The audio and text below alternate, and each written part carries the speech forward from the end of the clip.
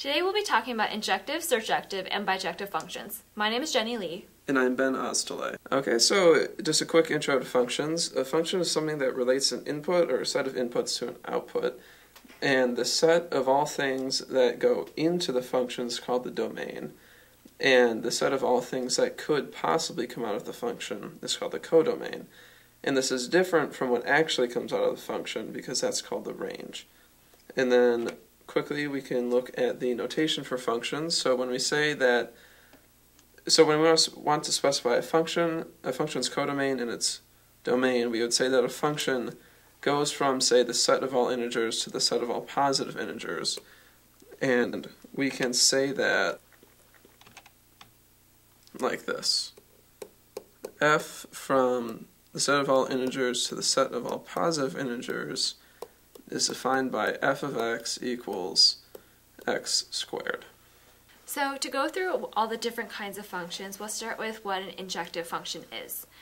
They're also known as one-to-one -one functions, and these are functions that never assign the same value to two different domain elements. So as we just said, uh, a function's input is comes from the domain, and so every input has a unique output, so a unique codomain output. And so an injective function is injective if and only if f of a equals f of b implies a is equal to b for all a and b in the domain. So that means the function must take on different values for all elements in its domain. So going through an example. In this example, uh, this function is defined from all positive integers to integers defined by f of, x, f of x is equal to x squared. So as we can see, every value in the domain here has a unique codomain value. That means every input here has reached an, a unique output. And so an important thing to remember about the definition of functions is that um, an input cannot have more than one output. So uh, that's just an aside over here. And additionally, um, we can see that there's one output here that hasn't that doesn't have a domain value, and that's fine for a one-to-one -one function. That is not a requirement. A requirement is just that every value in the domain must have a unique codomain value. For surjective functions, they are also known as onto functions. And this is a function that is from A to B, and it's only if and only if for every element B in B in the set B, there is an element A in set A with f of A is equal to B. So that means that every value in the codomain, which is what we mean by b, uh, is an output of the function, so f of a.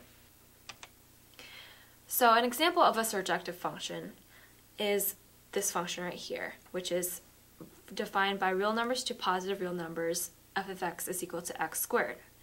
So as I said earlier, uh, a function cannot have um, an input that has more than one output. And then in this case, we can have two inputs that have the same output. And so here, every value in the codomain has a domain value. So uh, it's okay if two inputs have the same output because um, right here f of x is equal to x squared, f of negative 1 is equal to f of 1 is equal to 1. So that's an example of where two domain inputs can have the same codomain output.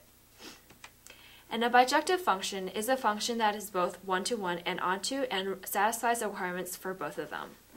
So every x in the domain corresponds to only one unique y in the codomain, and every value in the codomain corresponds to an x in the domain. So that means that not only does every input have to have a unique output, but every output has to have, or every value in the codomain has to have an input value. So in this example, which is a function defined uh, from all reals to all reals, and is f of x equal to x plus 1, every value in the domain, right here, has a unique codomain value. And so that makes it on one-to-one. -one. And every codomain value here has a uh, input value. So that makes it onto. And so this function satisfies the requirements for being one-to-one -one and onto, and so is bijective.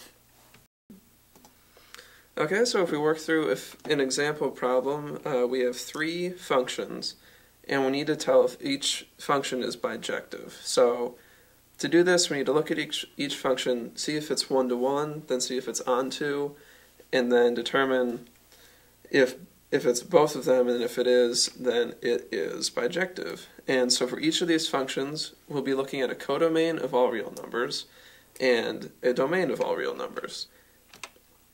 So if we take a look at f of x equals 2x plus 1, uh, you can see just from looking at the graph that I'm pretty sure it's bijective. Uh, just because it's linear, so you can see that every value on the domain, which is x, has one value on the codomain, which is y, the line, no matter where we draw. So if we take a look at, say, so let's take a look at a codomain, just a few values here. So you can see that 0.25 corresponds to 1.5 in the codomain. 0.5 corresponds to 2 in the codomain. 0.75, that would be 2.5, and then of course 1 is 3.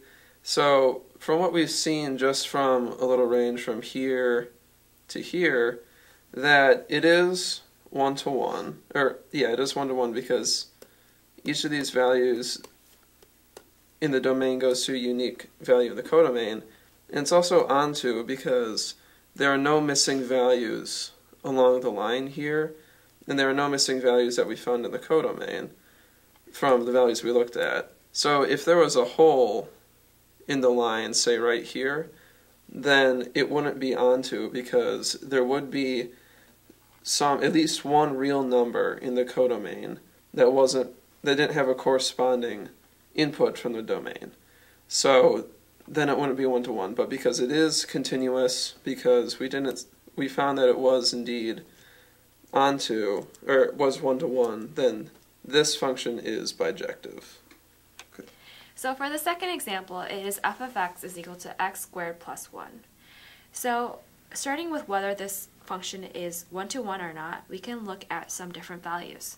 So f of x, um, if it's f of 1, that would be 1 squared plus 1, which is equal to 2.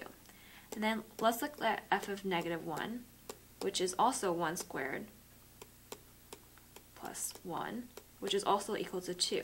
As we can see, this function cannot be one-to-one -one because two different inputs have the same output. And we can see that here